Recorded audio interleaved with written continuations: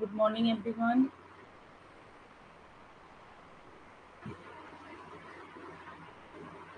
Good morning, Jyoti. Good morning, Pooja.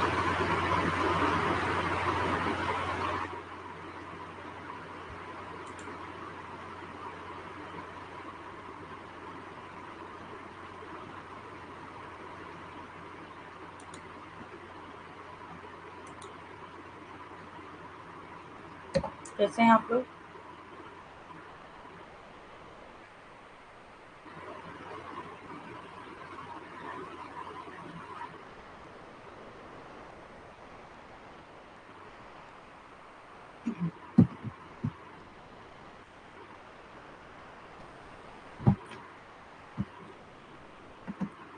आज की class में हम लोग को पढ़ना है सांख्य दर्शन, है ना? कल की क्लास में मैंने थोड़ा सा बताया था आपको। हम भी बिल्कुल ठीक है पूजा तो उसको थोड़ा सा हम लोग और पढ़ते हैं। शाम के दर्शन एक बार फिर से मैं रिवाइज कर देती हूँ, क्योंकि कल उतना समझ में आया नहीं होगा।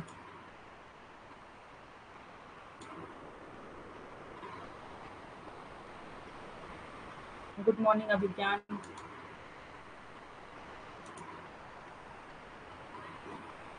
आज से आपकी क्लासेस मॉर्निंग में हो गई है। पहले आपकी क्लासेस 4 पीएम रहती थी तो 4 पीएम जो एक न्यू मैम आई हैं फ़र्स्ट पेपर की आप सबने पढ़ा होगा उनसे। उनकी क्लासेस 4 पीएम उनको ज़्यादा सुटेबल लग रहा था 4 पीएम करना। तो मैंने अपनी क्लासेस 4 पीएम वाली उनको दे दी होगी और अपनी क्लासेस मॉर्निंग में कर ली क्योंकि कुछ लोग को प्रॉब्लम हो रही थी शाम को अटेंड करने में है ना? जैसे दिनेश हो गए अभिज्ञान हो गए। तो आप लोग अब मॉर्निंग वाली क्लास में आया करिएगा। ओके आपकी morning nine A M class रहेगी। लेकिन क्या है कि थोड़ा बहुत आगे पीछे होता रहेगा दो चार दस मिनट पंद्रह मिनट इसको मैं पहले ही आपको इन्फॉर्म कर दूँगी। ओके तो आपको पता चल जाएगा राइट टाइम क्या होने वाला है। है ना? कल दोनों दिन आपकी क्लासेस कल से आपकी क्लासेस नाइन ए एम ही स्टार्ट हो जाएँगी।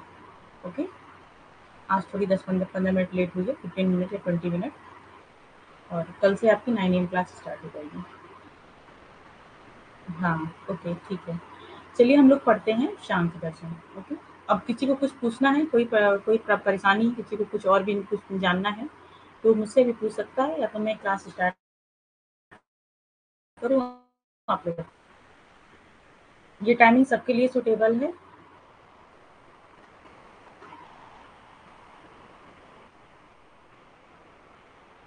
मॉर्निंग का टाइम है, कोई प्रॉब्लम नहीं होनी चाहिए, है ना? नाइन टू टेन है, उसके बाद आप कहीं भी जा सकते हैं, कुछ भी कर सकते हैं, पूरा दिन आपके पास है, पूरा दिन आप उसको रिवीजन भी कर सकते हैं, आप नोट्स भी बना सकते हैं, आपकी बाइकें भी लगा सकते हैं, आप मॉर्निंग में एक घंटा क्लास लीजिए और उससे रिलेटेड आप और भी चीज़ें उसमें और भी कंटेंट आप पढ़िए उसका ओके बुक से पढ़िए नेट से पढ़िए, कहीं से पढ़िए। सांग दर्शन मैंने पढ़ाया, आज मैं सांग और योग आपको पढ़ाऊँगी ओके और टाइम बचा तो आगे भी पढ़ा दूँगी। तो देखिए, सबके अकॉर्डिंग तो नहीं हो पाएगा, है ना? दस बजे का मैं कर सकती थी। दस बजे मुझे नौ बजे, दस बजे में कोई प्रॉब्लम नहीं है, चाहे नौ हो, चाहे दस हो। मेरे लिए बहुत ज़्यादा सुटेबल टाइम होता है। क्योंकि शाम को टाइम मुझे दिक्कत होती है, क्योंकि शाम के टाइम मेरा बच्चा आ जाता है तो उससे क्या होता है कि थोड़ा डिस्ट्रैक्शन मुझे होता है। तो इस वजह से शाम का टाइम मेरे लिए अच्छा नहीं था। लेकिन जब क्लास लग गई थी फोर पी तो मुझे पढ़ाना ही पड़ा उसमें। लेकिन अभी क्या है, अभी मुझे हो गया। अच्छा अच्छा। हाँ तो ये है कि मैं तो जाती हूँ स्कूल छोड़ने में हस्बैंड जाते हैं। तो ये मेरे लिए बहुत अच्छा टाइम है कि मैं शांति मन से आप लोग को अच्छा टाइम दे सकूँ। ओके चलिए, कोई नहीं सैटरडे संडे वो ज्वाइन कर लिया करेंगी। तब तो उनका बच्चा घर रहेगा। प्रॉब्लम तो सबके साथ कुछ ना कुछ तो होगी बात सही है। टेन एम क्लास इसलिए नहीं रखना था कि टेन एम हमारी यूट्यूब की क्लास है। तो ऐप की क्लास और यूट्यूब की क्लास एक ही टाइम पे नहीं होगी दोनों अलग अलग टाइम पे होगी इस वजह से नहीं तो मैं टेन एम रख ली थी मुझे कोई प्रॉब्लम नहीं था टेन एम टेन एम तो पहले मैंने क्लास किया ही था, आप लोग सब जानते हैं कि पहले हमें क्लास टेन एम भी होती थी। चलिए ठीक है, और कोई बात?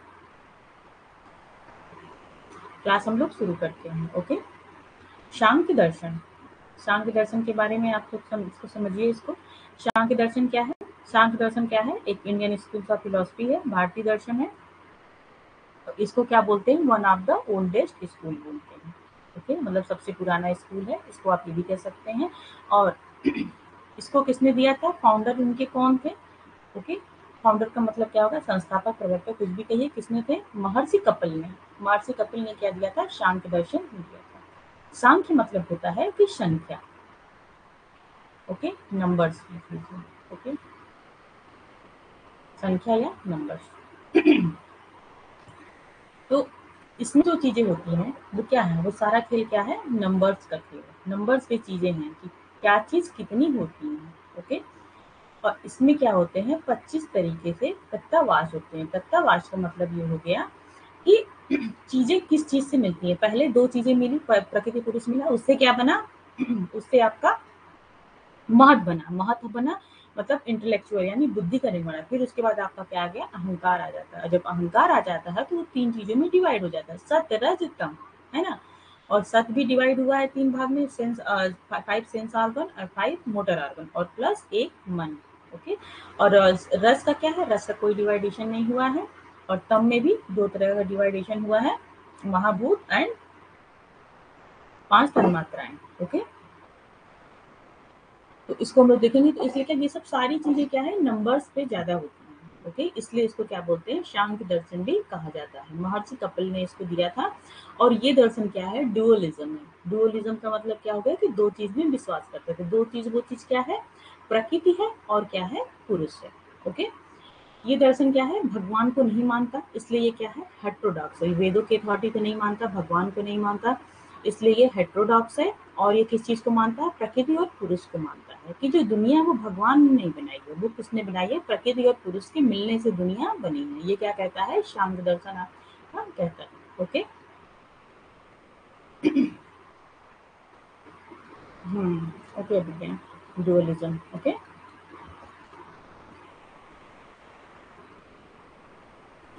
अब इसका आप देखिए कि थ्योरी ऑफ़ इवोल्यूशन मतलब कि ये थ्योरी जो आई कि एक के बाद जैसे प्रकृति और पुरुष, पहले ये दोनों क्या थे? अलग थे। प्रकृति अलग है, पुरुष अलग है ओके फिर ये दोनों मिले, फिर उनसे क्या हुआ? फिर उनसे क्या मतलब ढेर सारी चीज़ों का निर्माण हो गया ओके तो चीज़ों का आप देखिए क्या है? पहले क्या होता है? पुरुष है और क्या है? प्रकृति। दो चीज़ थी हम्म। इसमें एक चीज़ और आती है उसको भी यही समझ लीजिए आप। आगे मैं ले भी आई हूँ, लेकिन यहाँ पर भी समझ लीजिए। सर्ग और प्रलय, दो तरह तरीके का इसमें टर्म आता है, जिसको बोलते हैं सर्ग एंड प्रलय। इसको हिंदी में भी वही बोलते हैं, इंग्लिश में भी वही बोलते हैं, ओके? तो सर्ग और प्रलय का मतलब समझिए। प्रलय का मतलब ये होता है कि जब पृथ्वी क्या है, सोई हुई है। जब पृथ्वी सोई हुई है, उसमें कोई भी एक्टिविटी नहीं हो रही है। तो उसको क्या बोलते हैं?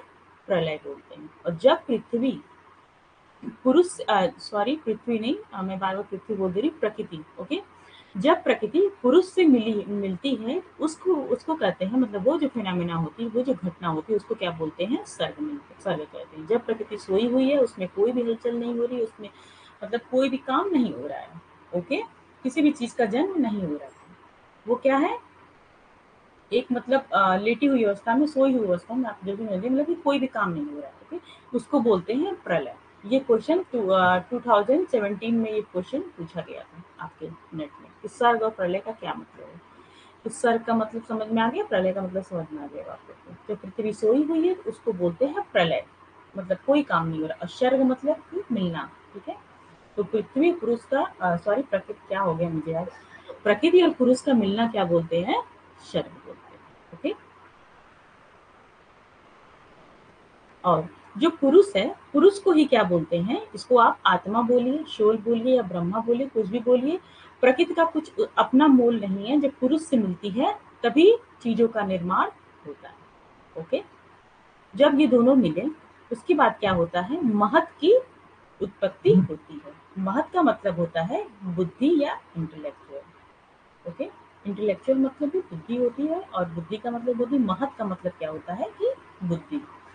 तो ये आपको मिलाने के लिए भी आ सकता है कि पहले क्या क्या चीज़ें होती हैं तो आप स्टेप वाइज याद रखिएगा। प्रकृति और पुरुष में कोई स्टेप नहीं है, ये स्टेप नंबर वन ही है step number two step number three step number four okay तो ऐसे इस चीज़ को याद रखिएगा। पुरुष प्रकृति मिली तो महत बना, महत मिला तो जब महत होता है तो उसके बाद क्या होता है, जब बुद्धि आती है तो फिर क्या आ जाता है, ईगो आ जाता है, अहंकार आ जाता है, अहंकार ओके और जो ये अहंकार होता है, फिर इसका तीन तरीके का डिवाइडेशन हुआ है। किसमें हुआ है? सत्य रज तम। थोड़ा सा इसको क्लियर कर दो।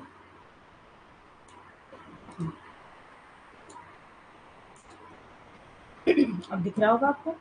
तो उसके बाद क्या होता है? अहंकार जो होता है, अहंकार का तीन तरीके के डिवाइडेशन हो गया है। सत्य रज तम ओके और सत्य रज तम जो होता है, उससे तीन तरीके का डिवाइडेशन हुआ है। एक क्या बनता है? माइंड बनता है, हमारा दिमाग बनता है। और क्या बनता है सबसे? फाइव सेंस ऑर्गन बनते हैं और फाइव एक्शन ऑर्गन बनते हैं। ओके सेंस ऑर्गन एंड और मोटर ऑर्गन जो होते हैं, उस बनते हैं। मोटर ऑर्गन बोली चाहे एक्शन ऑर्गन कोई भी बोली, ठीक है?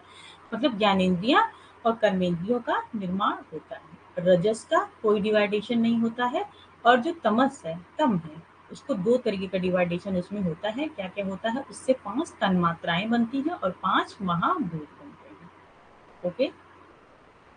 और आगे चल के जो पाँच तन मात्राएँ होती हैं sound touch form taste smell okay? पाँच तन मात्राएँ आपको दिख रही हैं। ये फिगर आपको क्लियर दिख रहा है कि नहीं? एक बार मुझे ये बताइएगा। अपनी मोबाइल का रेजोल्यूशन अगर आप सेवन सेवन ट्वेंटी पे रखेंगे तो रख के देखिए। दिख रहा है मुझे, लेकिन बहुत क्लियर नहीं है, लेकिन दिख रहा है है ना? आप लोग को दिख रहा है?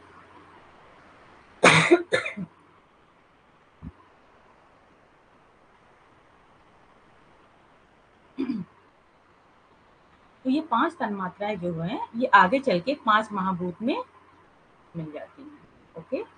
मतलब इनसे पाँच महाभूत का निर्माण होता है। तो आप चाहे ऐसे याद रखिए, चाहे जो भी याद रखिए, आपको याद करना ही करना है, ओके? फाइव तन्मात्राएँ और फाइव महाभूत कैसे मिलते हैं? तमस से मिलकर बनते हैं। और वो क्या है? सत्य से क्या मिलता है? माइंड बनता है और फाइव सेंस ऑर्गन बनते हैं और फाइव एक्शन ऑर्गन बनते हैं। ओके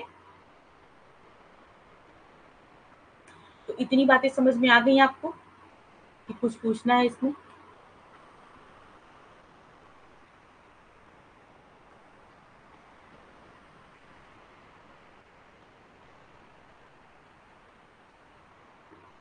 और एक क्वेश्चन आपसे ये भी पूछा सकता है कि कौन सी वो स्टेज होती है जिनमें तीनों गुण पाए जाते हैं? तो वो कौन सी स्टेज होती है? वो प्रकृति होती है। प्रकृति में सत्य, रजतम तीनों चीज़ें पाई जाती हैं। ओके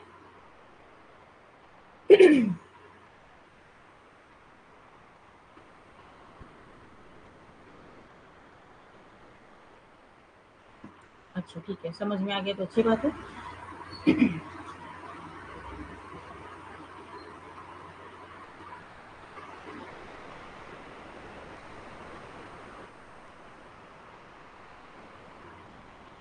चित्त अवस्था, ये जो मन है ना, मनस, ठीक है? यही आपका, चाहे आप इसको दिमाग बोलिए, चाहे अपना हृदय बोलिए, चाहे कुछ भी बोलिए।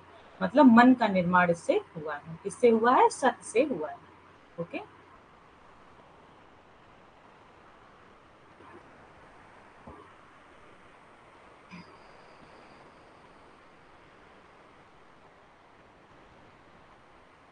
अब देखिए नेक्स्ट देखिए इसमें। इसमें दो तरीके के ज्ञान को बताया गया अगर इसकी इपिस्टेमोलॉजी की बात करते हैं इपिस्टेमोलॉजी मतलब क्या होता है? ज्ञान मीमांसा ओके इसमें दो तरीके के ज्ञान को बताया गया एक क्या होता है? परमार्थिक ज्ञान और दूसरा क्या होता है? लौकिक ज्ञान ओके तो जो परमार्थिक ज्ञान है, इसको क्या बोलते हैं? अल्टीमेट मतलब पूरा।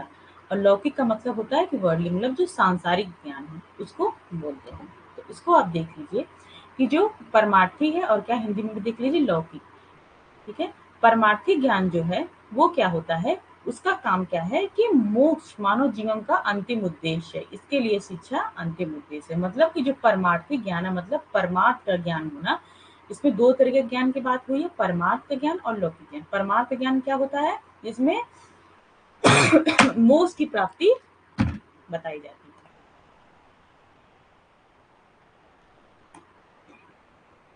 जितने भी दर्शन आपने पढ़ा, सबका क्या है? ओवरऑल जो एम है, क्या है? मोक्ष की प्राप्ति करना ही उसका एम है। तो परमार्थिक ज्ञान और लौकिक ज्ञान में ध्यान दीजिए। परमार्थिक मतलब ऐसा ज्ञान जो हमको मोक्ष की प्राप्ति कराए। ओके परमात्मा का ज्ञान कराए और हमको मोक्ष की प्राप्ति कराए। उसको बोलते हैं परमार्थिक ज्ञान। और लौकिक ज्ञान इसका क्या है? मतलब सांसारिक ज्ञान। इसमें एम ऑफ़ द एजुकेशन क्या होती है? कि इसमें शरीर क्या है? आत्मबोध की उपस्थिति में पहुँचने का साधन है, जिसको आत्मानुभूति करते हैं, यानी self actualisation okay self realisation या सेल्फ एक्चुअलाइजेशन आया समझ में?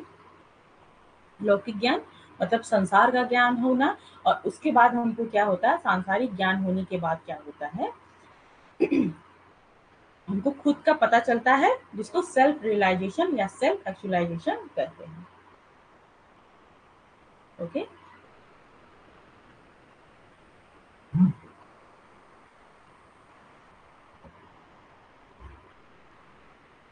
इसमें तीन तरीके के उद्देश्य बताए गए हैं क्या क्या होते हैं। शारीरिक विकास करने का लक्ष्य होता है, ज्ञान का लक्ष्य होता है और बौद्धिक उद्देश्य होता है। मतलब किसी का क्या करना है, शारीरिक विकास करना है उसके ज्ञान का विकास करना है और उसके बौद्धिक चीज़ों का विकास करना है। ज्ञान का मतलब ये हो गया कि उसको उसको ज्ञान देना। और बौद्धिक का मतलब क्या होता है कि उसके जो दिमाग है उसका, उसके सारे दरवाजों को खोलना, ओके? उसको खुद से सोचने, समझने की क्षमता उसके अंदर उत्पन्न करना। उसको क्या बोलेंगे? बौद्धिक, ओके? हम्म। चलिए। अब इसमें नेक्स्ट देखिए क्या है? Sankhya philosophy and the meaning of the education इसमें क्या क्या meaning of the philosophy? True education is that which helps to differentiate Prakriti and the Purusha इसमें एजुकेशन का क्या है? कि जो प्रकृति को पुरुष को अलग करने की मदद करती है। मतलब कि क्या करना है? इस संसार के भाव संकट में नहीं पड़ना है। प्रकृति पुरुष को मिलना ही नहीं, क्योंकि प्रकृति पुरुष मिलेगा तो उससे क्या होगा? इंटेलेक्चुअल की महत्व की उत्पत्ति होगी उसके बाद अहंकार आएगा तो बारी बा, बाकी चीज़ें उत्पन्न होंगी ओके तो इसमें नहीं पढ़ना इसका क्या एम है? मोक्ष की प्राप्ति करना ही इसमें इसका एजुकेशन है।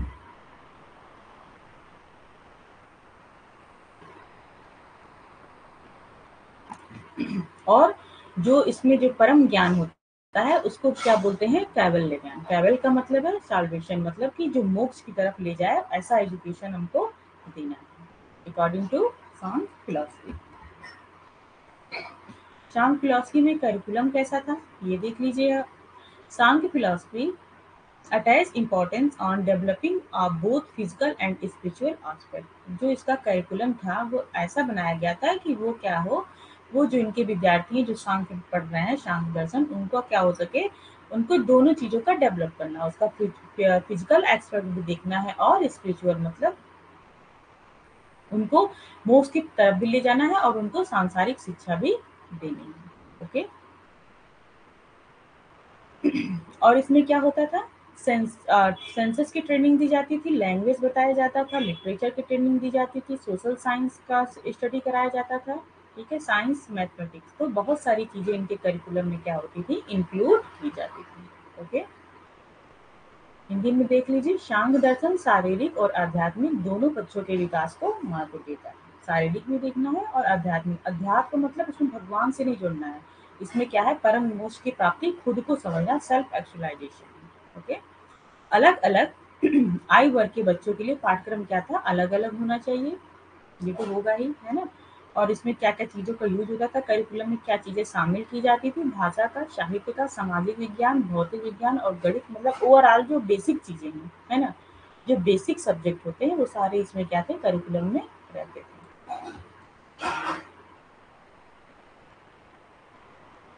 जो शांत दर्शन था, इसमें मेथड ऑफ़ द एजुकेशन क्या था मतलब कि किस चीज़ों को मानता है? जो प्रमाणा की बात अभी हुई थी, आपने हर दर्शन का अलग अलग प्रमाणा देखा था तो इसका भी देखिए तो ये किसको मानता है? प्रत्यक्ष को मानता है, अनुमान को मानता है एंड शब्द को मानता है। है ना?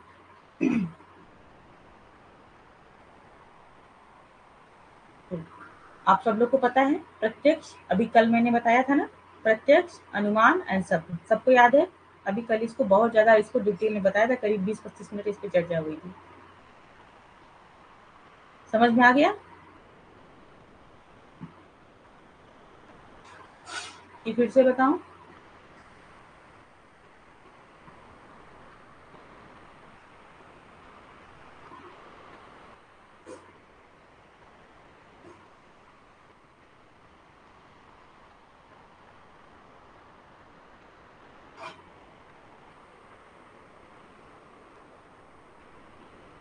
भूल गए सब लोग?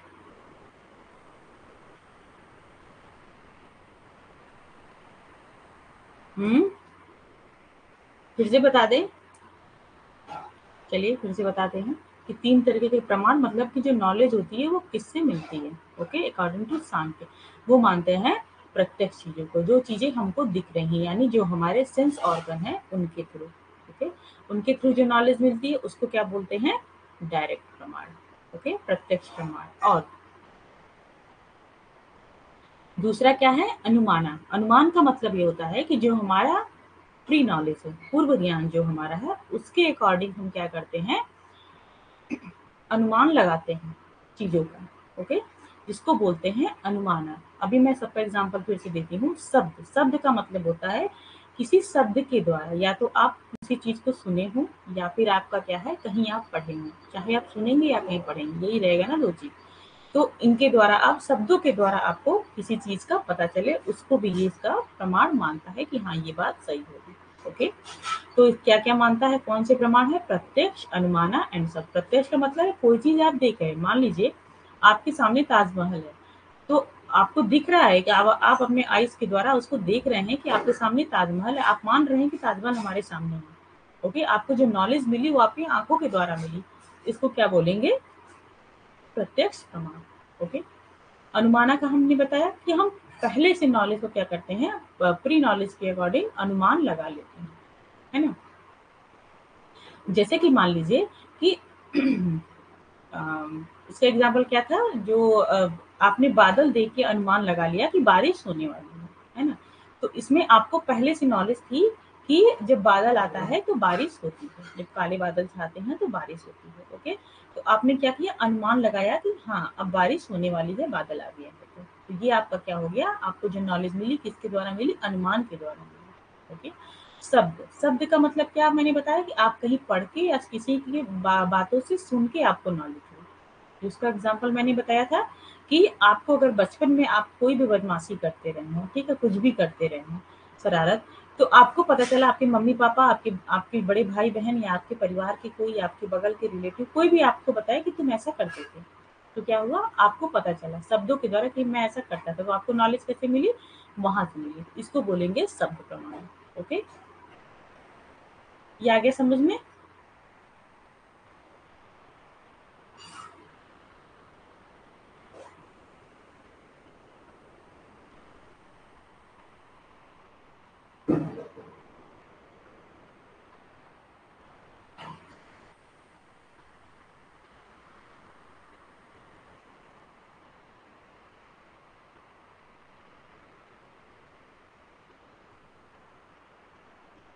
ओके अब नहीं भूलेगा ना, कल हमने छह तरह के प्रमाण पूरा बताए थे, है ना, वेदांत में? उसको आप लोग कहीं लिख लीजिएगा उसको अच्छे से देख भी लीजिएगा, याद भी कर लीजिएगा, क्योंकि क्या है, आपका फ़र्स्ट पेपर में भी ये आता है, ओके? यहाँ देखिए, ये क्या है शांत दर्शन। यहाँ किसकी बात हो रही है जिसकी भी याद रखेगा जैनिज्म, चारवाक एंड बुद्धिज्म। ये क्या है, ये हेट्रोडॉक्स है okay?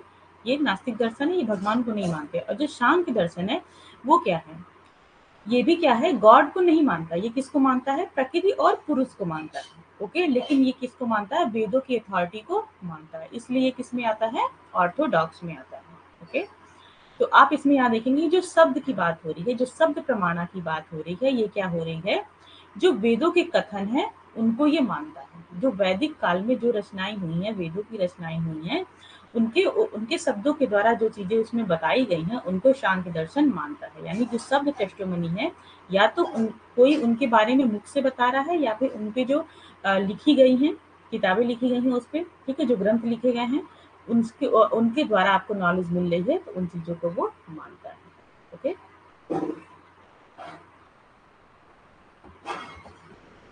Sankhya philosophy and the role of the teacher इसमें रोल ऑफ़ द टीचर क्या था? सांग फिलोसफी में Sankhya philosophy views the teacher as an authority जो सांग जो टीचर है, वही क्या है? पूरे रूप से वही अथॉरिटी है। मतलब वो जो उनके शिक्षक जो उनके छात्र है, उनको पूरी तरह से देख रेख करता है। उनको, उनका पूरा अधिकार है। Okay the teacher must be an expert in the subject is teach okay teacher क्या होना चाहिए? अपने सब्जेक्ट का क्या होना चाहिए? एक्सपर्ट होना चाहिए। The teacher must have clear knowledge about the source of the knowledge उनको क्या है? सभी स्रोतों का ज्ञान होना चाहिए। यहाँ पे कुछ टर्म था, क्या था? सर्ग एंड प्रग जो मैंने बताया था, जब पृथ्वी जगी हो, उसको क्या बोलते हैं? सर्ग बोलते हैं। मतलब जब जगी है तो क्या करेगी? प्रकृति प्रकृति और पुरुष। ओके? यहाँ पृथ्वी नहीं होगी, यहाँ प्रकृति होगा। ठीक है? मैं जब भेजूँगी तो आपको क्लियर करके भेजूँगी, यहाँ क्या होगा? प्रकृति होगा ओके जब प्रकृति जगी हो, उसको क्या बोलते हैं? सर्ग। जब जगेगी तो क्या होगा? पुरुष से मिलय होगा ओके और जब पृथ्वी सोई हुई हो, यानी कोई भी एक्टिविटी नहीं हो रही हो तो उसमें क्या बोलते हैं? प्रलय बोलते हैं। शाम दर्शन आपका खत्म हुआ, लेकिन इसमें एक चीज़ें भी और पढ़ानी है आपको तो मैं आपको फिर बताती हूँ, उसके लिए आपको पीछे चलना पड़ेगा।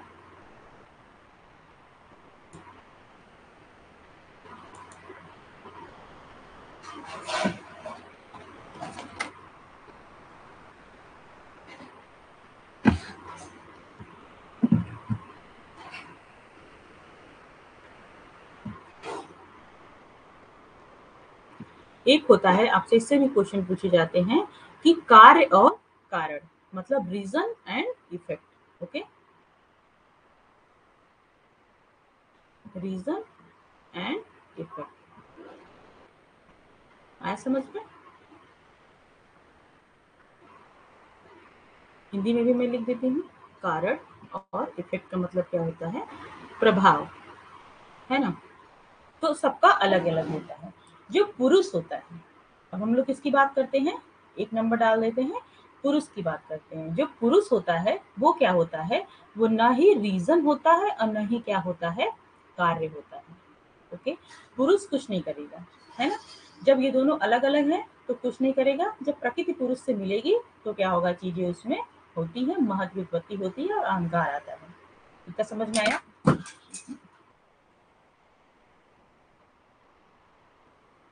ये चीज़ें मैं आपको एक दो बार और बताऊँगी तो क्लियर होगी। पहले आप इसको ध्यान से सुनिए, है ना? दूसरा देखिए क्या होता है। दूसरे नंबर पे क्या है? प्रकृति प्रकृति क्या होती है? ये क्या होती है? ये रीजन होती है। ये सिर्फ़ क्या होती है? कारण होती है। इसमें ये प्रभाव नहीं होती प्रकृति सिर्फ़ रीजन है। ठीक है?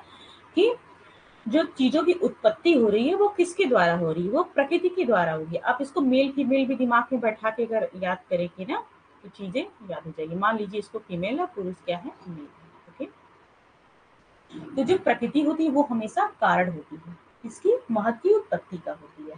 लेकिन वो पुरुष से नहीं मिलेगी तो महत्व की उत्पत्ति नहीं होगी ओके तो यानी ये इफ़ेक्ट नहीं है, ये ये क्या है? केवल रीजन है। तीसरा तीसरा इसमें चीज़ होती है महत और अहंकार और अहंकार और तन्मात्राएँ महत तीन नंबर ये, तीन नंबर ये, और क्या होती हैं? तन्मात्राएँ, ठीक है? तो महत, अहंकार और तन्मात्राएँ, ये तीनों क्या है? ये क्या है? ये कार्य भी हैं, और ये क्या है? ये रीजन भी है, प्रभाव भी है, ओके? महत, अहंकार एंड तन्मात्राएँ, तीनों ये क्या है? ये रीजन भी होती हैं, और ये क्या होता है? इफ़ेक्ट होती है, यानी ये इसका कारण भी है, और ये इसका क्या होती है? प्रभाव भी होती है। ओके? और बाकी जो बचा, बाकी इसमें क्या बचा? मन बचा फ़ोन नंबर पे मन आ गया। और फाइव एक्शन आर्गन आपके आ गए, और फाइव सेंस आर्गन आ गए फ़ोन नंबर के। और फ़ोन नंबर के क्या है? पाँच महाभूत ये दोनों क्या है? ये कार्य तो होते हैं, पर ये कारण नहीं होते हैं।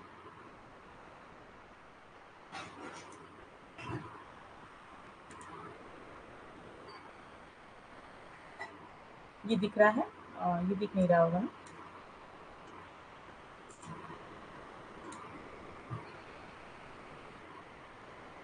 फ़ोन नंबर का दिख नहीं रहा है। फ़ोन नंबर मैं यहाँ लिख देती हूँ। ओके? इसमें क्या है? Reason on effect okay? इसको समझ लीजिएगा कि इसका क्या होता है? जो फ़ोन नंबर पे आप देख रहे हैं कि आपके सामने क्या है? माइंड है फाइव सेंस आर्गन है एंड फाइव और और फाइव आपके मोटर आर्गन है, और पाँच इस और इसके जो क्या है? महाभूत है फाइव जो महाभूत है, ये आपके क्या है? ये कार्य हैं ओके लेकिन आपका कारण नहीं है। ये यानी ये प्रभाव होंगे इफ़ेक्ट होंगे, पर इसका कारण नहीं होते आया समझ में? या आपको समझ में एक बार इसको अपने हिसाब से उसको देख लीजिए, फिर मुझे बताइए।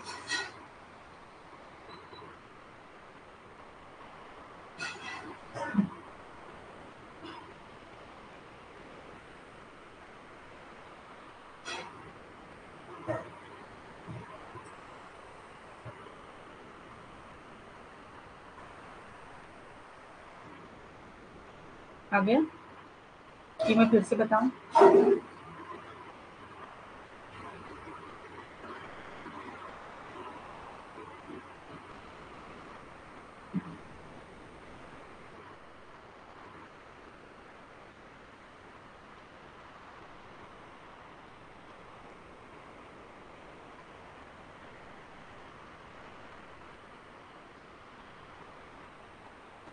ओके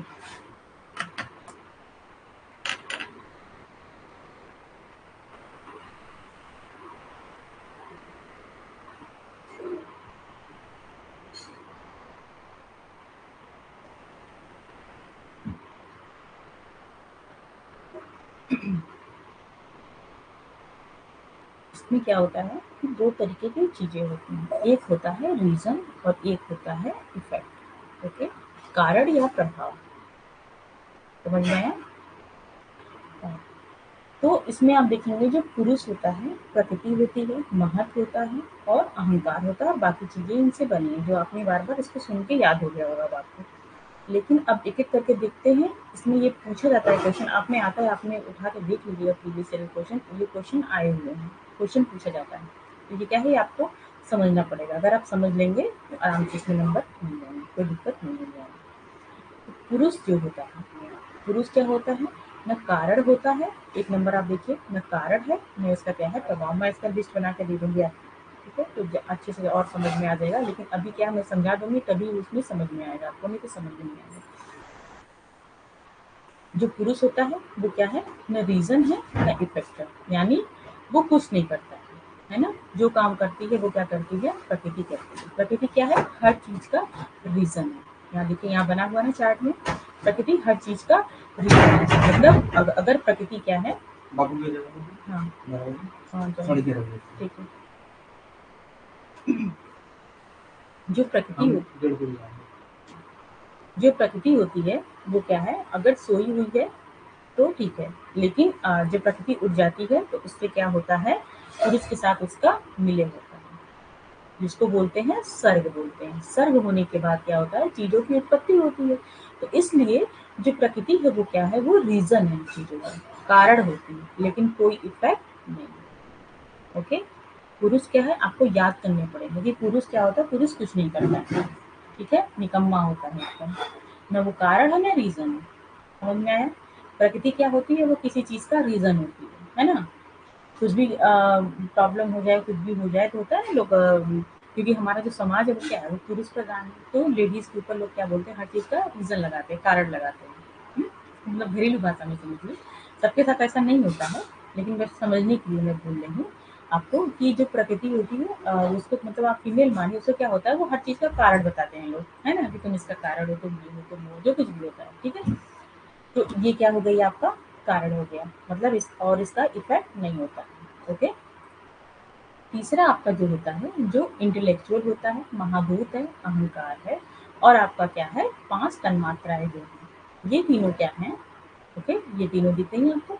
ये तीनों क्या है? ये आपका कारण भी होती है और ये आपका प्रभाव भी होती है है ना? ये याद करने वाली चीज़ है, आप इसको समझ के इसको याद कर लीजिएगा और और बाकी जितने बचे तो बाकी उसमें क्या बचे? माइंड बचा सेंस ऑर्गन बचा मोटर ऑर्गन बचा और पाँच महाभूत बचे। ये क्या होते हैं? ये प्रकृति का उल्टा होते हैं, ऐसे याद करें जो प्रकृति क्या होती है? रीजन होती है तो ये क्या होते हैं? रीजन नहीं होते हैं, ये क्या होते हैं? इफ़ेक्ट होते हैं, ओके? हाँ आप तो पुरुष तो आप क्या है ना, कारण है ना, इफ़ेक्ट है ना? कुछ नहीं है।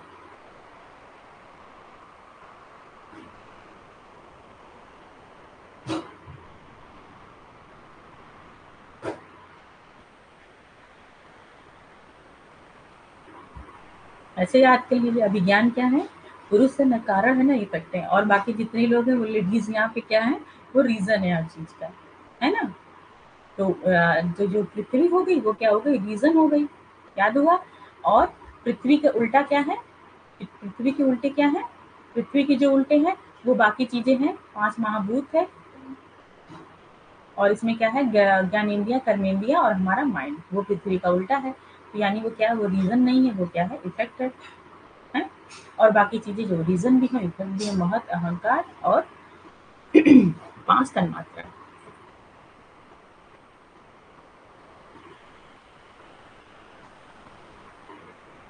थ्री नंबर पे है कि महत, अहंकार और तन्मात्रा। ये तीनों क्या होती हैं?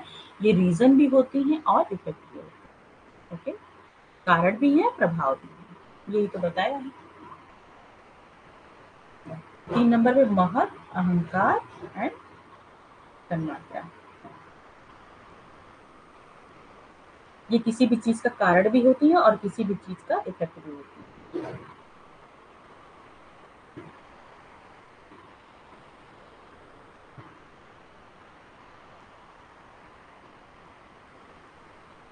आगे समझ में आप लोग को याद करने की ट्रिक भी मिल गई है तो भूलेगा नहीं, है ना?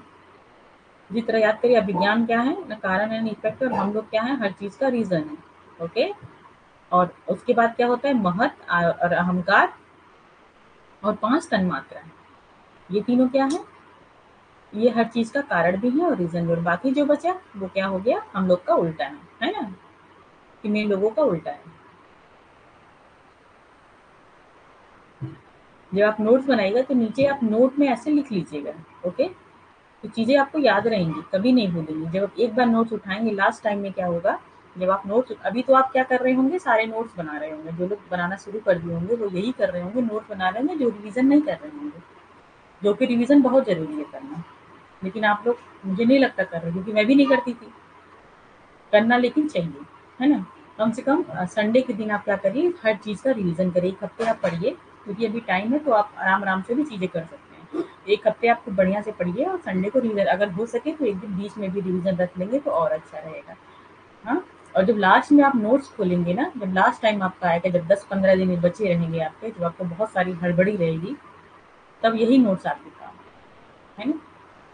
मैं आज भी पढ़ाती हूँ तो मैं भी नोट्स से ही पढ़ाती हूँ आप लोग तो नोट्स बने हैं नीचे उसके, जितने एग्ज़ाम्पल है, सब लिखे हुए हैं। इससे क्या होता है, चीज़ें क्लियर हो जाती है। आज भी पढ़ते हैं तो समझ में आ जाता है कि अच्छा ये बात हो रही, नहीं तो भूल जाता है ना चीज़ें। इतना याद थोड़ी रहता है।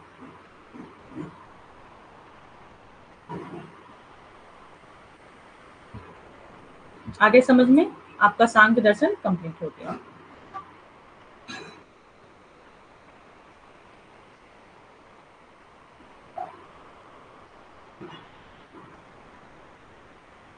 चलिए इसको हटाएँ। एक चीज़ें आप यहाँ और देख लीजिए।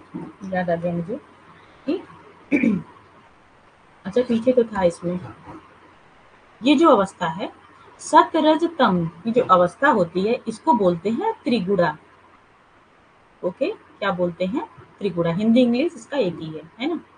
त्रिगुड़ा तो त्रिगुड़ा भी हो सकता है, आपसे पूछा जा सके कि त्रिगुड़ा क्या है? तो सत रज, तम, तीन चीज़ें हैं इसमें, तीनों को मिला के क्या बोलते हैं? त्रिगुड़ा बोलते हैं। और पृथ्वी के अंदर क्या होते हैं? ये तीनों गुण पाए जाते हैं। ओके? सत, रज, तम त्रिगुड़ा क्लियर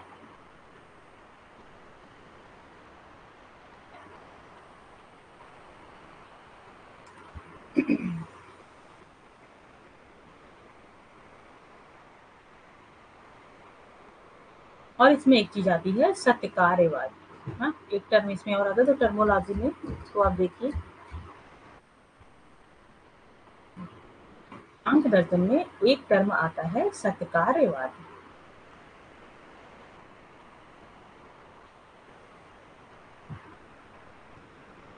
सत्कार्यवाद ओके? सत्कार्यवाद का मतलब ये होता है कि किसी भी चीज़ में, वो भी चीज़ है, उस चीज़ से किसी चीज़ का निर्माण हो रहा है तो उस चीज़ में, यानी उस चीज़ का गुण उपस्थित है। नहीं समझ में आया? मैं बता रही हूँ। जैसे कि क्या होता है? मिट्टी से क्या बनता है? घड़ा बनता है। तो घड़े घड़े की क्वालिटी ये होती है कि वो किससे बना है? वो मिट्टी से बना है। तो घड़ी की जो क्वालिटी है, वही क्वालिटी किसकी होती है? मिट्टी की होती है। और मिट्टी की जो क्वालिटी है, वो घड़ी की। मतलब दोनों क्या है? एक दूसरे के पूरक है। किसी भी चीज़ से कोई चीज़ का निर्माण हो रहा है तो यानी उसके में वो पहले वाले का गुण होता है। इसी को बोलते हैं सत्यकार्यवाद। आप अपनी भाषा में समझिए कि आप लोग हुए, अपनी मम्मी पापा से आप लोग हुए तो आपके जो जीन्स हैं, वो क्या है? वो आपके मम्मी पापा के जीन्स के जैसे हुए है ना? होता है, जो डीएनए टेस्ट होता है तो पता लग जाता है। देखते हैं ना क्राइम पेट्रोल वगैरह में तुरंत डीएनए टेस्ट होता है तो उससे पता चल जाता है कि हाँ ये जो बॉडी मिली है, वो किसकी बॉडी है है ना? बहुत तेज डीएनए टेस्ट होता है और इसमें सीबीआई दिखाता है कि इतने सारे केस सीबीआई सॉल्व कर रही है, पता नहीं कौन सी केस सॉल्व करती है है ना? तो उसमें क्या होता है डीएनए टेस्ट होता है तो उससे पता चल जाता है कि ये जो बॉडी मिली है, ये वहाँ से मिली है ओके तो इसी को बोलते हैं सत्यकार्यवाद, की जो चीज़ें जिससे बनी हुई हैं ओके जो चीज़ें बन गई हैं, उसमें पहले वाली चीज़ का कुल होता है, जिससे वो मिलकर बनी इसको बोलते हैं सत्यकार्यवाद। तो ये टर्म भी याद रखिएगा सांख्य में कभी कभी पूछा जाता है, सत्यकार्यवाद क्या है?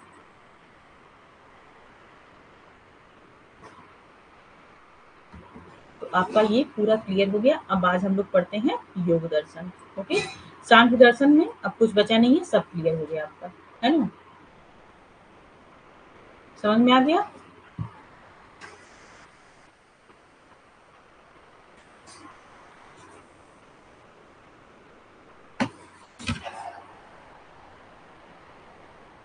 योग दर्शन देखिए ओके योग दर्शन किसने दिया था? किसी को याद है? योग दर्शन किसने दिया था?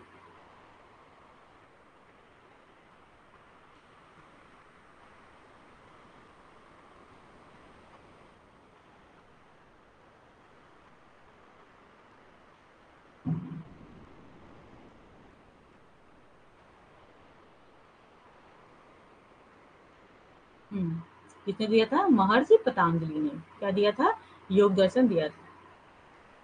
सब लोग चीटिंग किए कि अपने मन से बताएँगे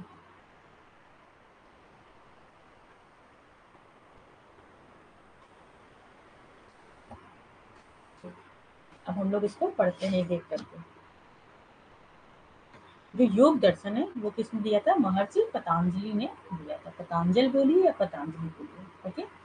महर्षि पतंजल ने दिया था, योग दर्शन दिया था। इसको बोलते हैं सिरेश्वर सांख्य तो ये भी क्वेश्चन आपसे आपसे पूछा जा सकता है कि सिरेश्वर सांख्य क्या है? तो वो कुछ नहीं है, वो क्या है? योग दर्शन ही है आपका, सिरेश्वर सांख्य सिरेश्वर सांख्य आ गया। हम्म तो पूजा से चीटिंग करने की क्या ज़रूरत थी? मैं तो आपको आगे ही बता दी थी कि किसने दिया है? सामने देखिए, महर्षि पतंजलि। लिखा है ना? महर्षि पतंजलि कृति मतलब कि महर्षि पतंजलि जी के द्वारा लिखा गया। यहाँ से नहीं दिख रहा था।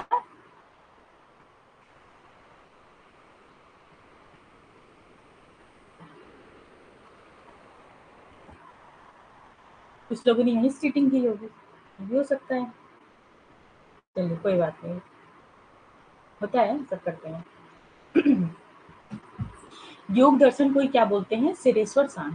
सिरेश्वर सांग इसलिए बोलते हैं कि जो 25 तरीके की आपने अभी सांख दर्शन में तत्वावास पढ़े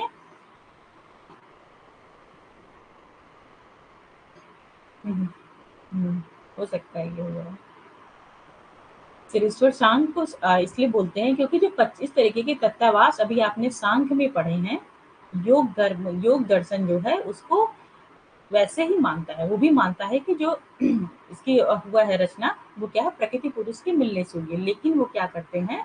भगवान को भी मानते हैं गॉड को भी मानते हैं। ओके? इसलिए ये क्या हो गया? छब्बीस छब्बीस सत्तावास इसमें होते हैं योग दर्शन में होते हैं। तो इसको इसलिए बोलते हैं शेरेश्वर शांत बोलते हैं। जो शांत चीज़ें हैं वो उसको मानता है और इसमें एक अपना ऐड कर दिया है कि भगवान भी होते हैं। प्रकृति पुरुष से तो दुनिया बनी है, है? लेकिन क्या है? भगवान भी है। तो इसलिए इसको कहते हैं सेरेश्वर सान चलिए इसके जो प्रणेता है, वो क्या है? महर्षि कपिल पतंजलि मुनि ओके? ये दर्शन, सात दर्शन के, पूरक दर्शन के भी नाम से जाना जाता है। यानी इसका पूरक है, यानी उन, उसकी जो क्वालिटी है, वो योग दर्शन, शांत दर्शन की जो क्वालिटी है, वो किसमें? योग दर्शन में है। इसलिए इसको क्या बोलते हैं? पूरक दर्शन ऑफ़ शांत, ओके? इस दर्शन का प्रमुख लक्ष्य क्या है? मनुष्य को वह मार्ग दिखाना, जिस पर चलकर वह जीवन का परम मोक्ष की प्राप्ति कर सके। जीवन का लक्ष्य क्या है इसमें भी? मोक्ष की प्राप्ति है। इसका प्रारंभ पतंजलि मुनि ने योग सूत्र से होता है। पतंजलि मुनि ने क्या लिखा था? योग सूत्र लिखा। योग सूत्रों की जो सर, जो सर्वोत्तम व्याख्या है वो क्या है? व्यास मुनि के द्वारा लिखित व्यास भाष्य। है ना? तो पतंजलि ने क्या लिखा था? योग सूत्र लिखा था। ये भी क्वेश्चन हो सकता है। और व्यास की रचना क्या है? व्यास भाष्य। और व्यास भाष्य में योग सूत्रों के बारे में भी वर्णन मिलता योग दर्शन भी क्या है? डुअलिज्म है, द्वैतवादी है मतलब प्रकृति है और पुरुष है। है ना?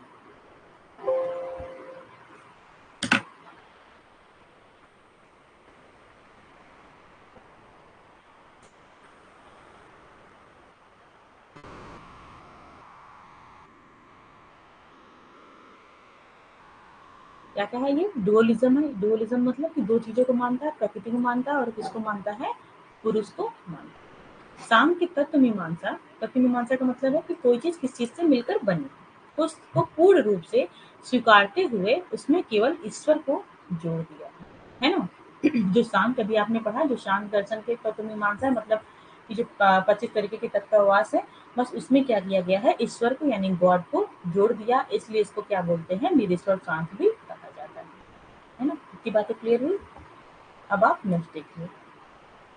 महर्षि पतंजलि ने जो योग सूत्र गंध को क्या, आगे चल के जो उन्होंने योग सूत्र दिया था, उसको आगे चल के क्या हो गया? चार भागों में, चार अलग अलग अध्यायों में डिवाइडेशन हो गया। यानी चार अलग चीज़ें उसमें आई जिनको क्या बोला गया? पाद के नाम से जाना गया। तो योग दर्शन के चार पाद कौन कौन से हैं? समाधि पाद, साधन पाद, विभूति पाद और कैबल्य पाद। जिसमें क्या है?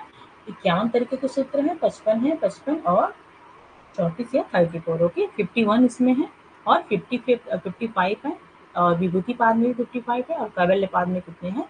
थर्टी फोर इसमें दिए गए हैं ओके फार्मूलाज इसमें दिए गए हैं। तो ये क्या है? ये योग सूत्र का ही डिवाइडेशन है, जो चार पार्टों में आगे चल के और डिवाइड हुआ मतलब और भी चीज़ें इसमें लिखी गई और भी फॉर्मूला का बनाए गए इसमें, ठीक है? और भी सूत्र बनाए गए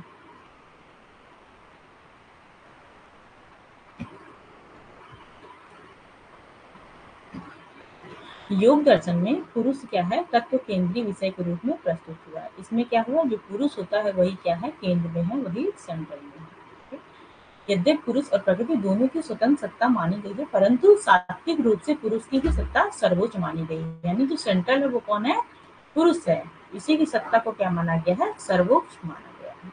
और इसको ही क्या बोला गया है? आत्मा का पर्याय बोला गया है। यानी सौल भी बोला गया है। तो सांख्य में भी वही है। पुरुष को ही सौल बोला गया है है ना? आत्मा बोला गया है।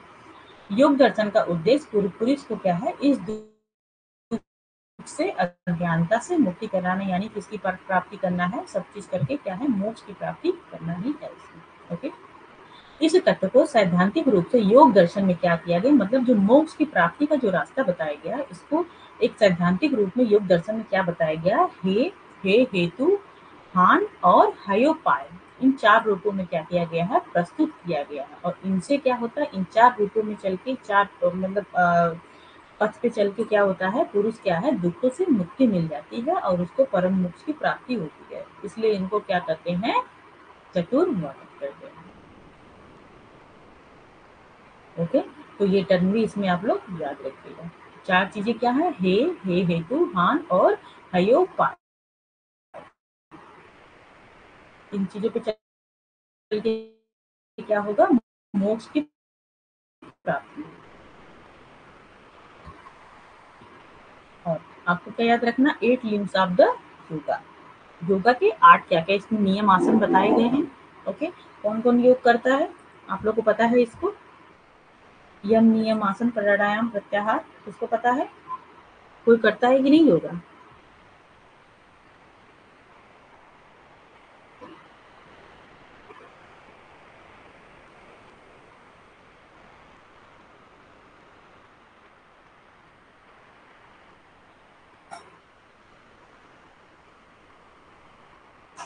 इसको मैं एक बार बता देती हूँ। पहला आपका क्या है? यम, नियम।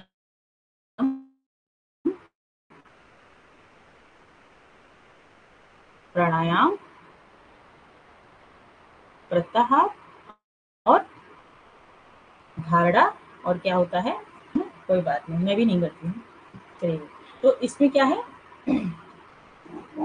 योगा के एट लिम्स बताए गए हैं। क्या क्या उसमें चीज़ें होती हैं क्या क्या क्रियाएँ उसमें करती हैं। पहला क्या होता है, और इसको आपको लाइन वाइज ही याद करना है। पहला क्या होता है, यम। यम का मतलब होता है कि अनुशासन में रहना, है ना? डिसिप्लिन में रहना एक्सटर्नल डिसिप्लिन ओके और दूसरा दूसरा का क्या है, नियम।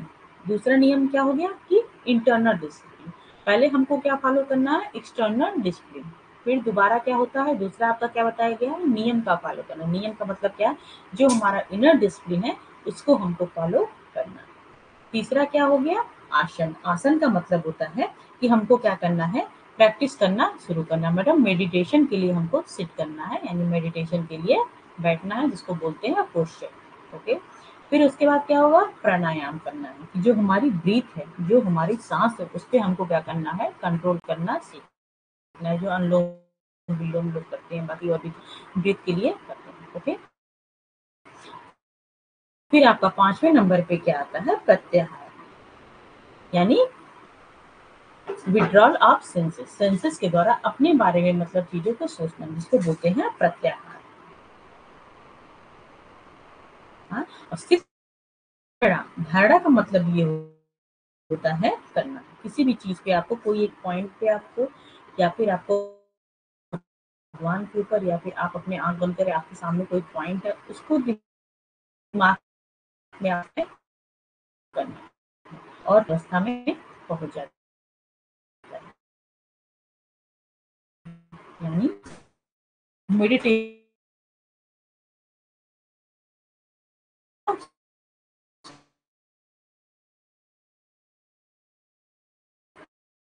ध्यान तक ही लोग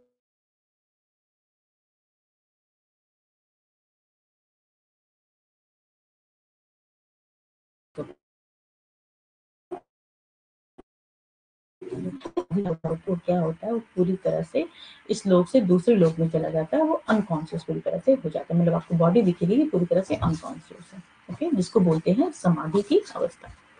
जैसा विज्ञान बोल और जो समाधि की अवस्था है, वो दो भागों में डिवाइडेशन इसका हुआ है। एक क्या होती है? सबीजा और व्यापजा।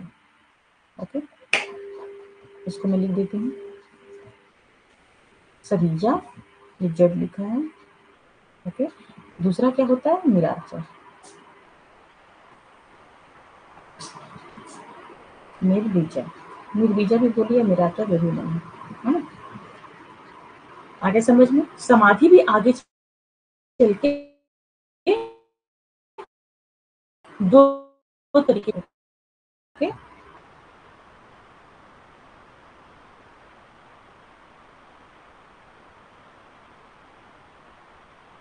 जाता है कि हम किस चीज़ का ध्यान लगा रहे हैं, हमारा ऑब्जेक्ट क्या था? है ना? तो उसको बोलते हैं सबीजा। और मिरबीजा की जो अवस्था होती है, उसको बोलते हैं कि उड़ जाता है उसको मिरबीजा। ओके इसमें क्या होता है? यम होता है। यम का मतलब क्या होता है? हमारा एक्सटर्नल अनुशासन मतलब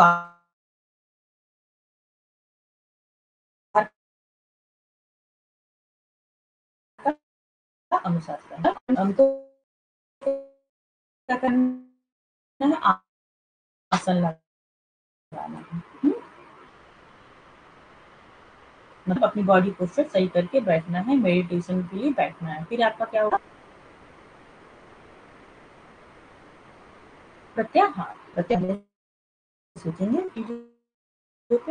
फिर हम ध्यान से समाधि की स्टेज आती है।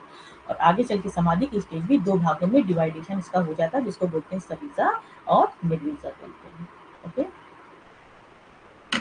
तो आज यहीं तक हम लोग क्लास रखते हैं। आगे की क्लास को देखते हैं। है ना? ये आ गया सबको समझ में? पहले तो आप बाहर का जो इन्वायरमेंट है, अपना कहाँ आपको बैठना, क्या करना, शांत माहौल खोजना,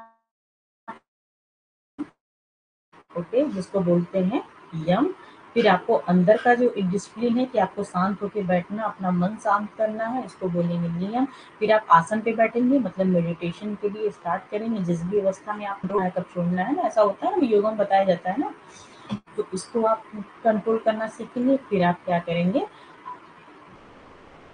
प्रत्याहार अपने बारे में सोचेंगे, फिर आप ध्यान लगाना शुरू करेंगे, किसी एक पॉइंट पे कंसंट्रेट होना शुरू करते हैं, फिर आपको मेडिटेशन होगा मतलब ध्यान लगाएँगे उस चीज़ का, फिर आपकी समाधि अवस्था में आप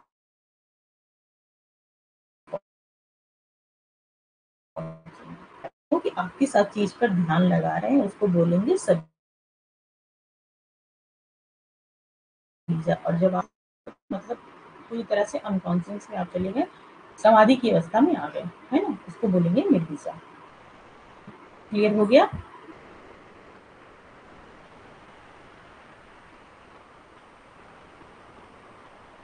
किसी को कोई डाउट है कुछ पूछना है? तो आप मुझे पूछ सकते हैं। अच्छा नेटवर्क खराब हो रहा है। हो सकता है खराब हो रहा हो मेरा। हम्म, सबको प्रॉब्लम हो रही है। एक मिनट के लिए हुआ था हाँ मैंने भी देखा, हुआ था। एक मिनट के लिए भी नहीं हुआ था दस पंद्रह सेकंड के लिए हुआ था, है ना? अब तो ठीक है।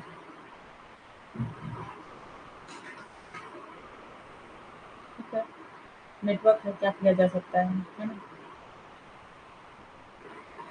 वाईफाई वाला मेरा एकदम परेशान कर दिया है।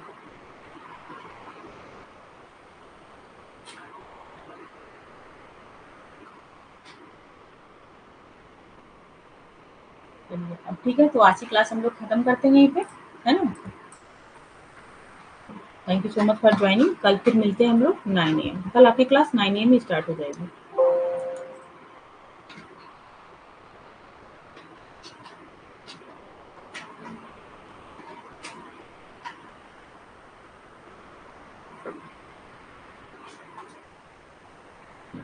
Thank you so much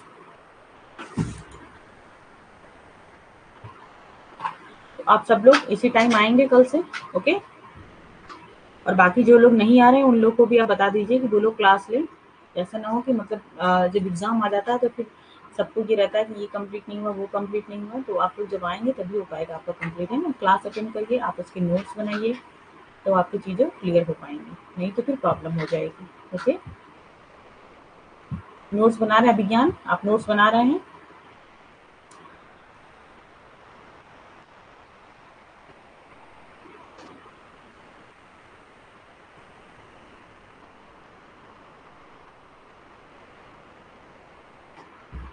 note ज़रूर बना के रखिए और उसका रिविजन भी करते रहिए, है ना? पी वाई भी मैं जल्दी लूँगी, थोड़ा एक यूनिट खत्म हो जाए या फिर थोड़ा आधा यूनिट कुछ टॉपिक होना चाहिए, है ना? तो मैं पी वाई क्यू भी क्लास लेना शुरू करूँगी।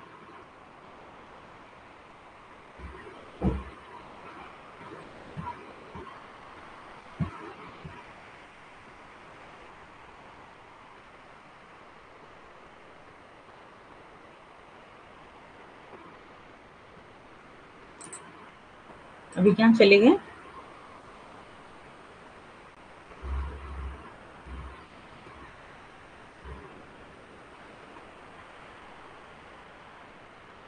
चलिए कोई बात नहीं। हम्म तो ठीक है। क्लास इन करते हैं।